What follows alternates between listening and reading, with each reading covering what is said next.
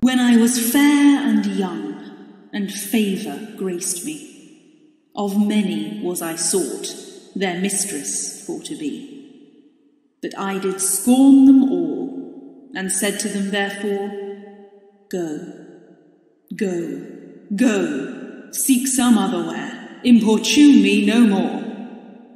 But then fair Venus' son, that brave, victorious boy, said, What, thou scornful dame? Since that you be so coy, I will wound thy heart, that you shall say no more. Go, go, go, seek some other where, importune me no more. But then I felt straightway a change within my breast.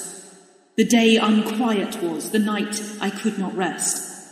For I did sore repent that I had said before, Go, go, go, seek some other otherwhere, importune me no more.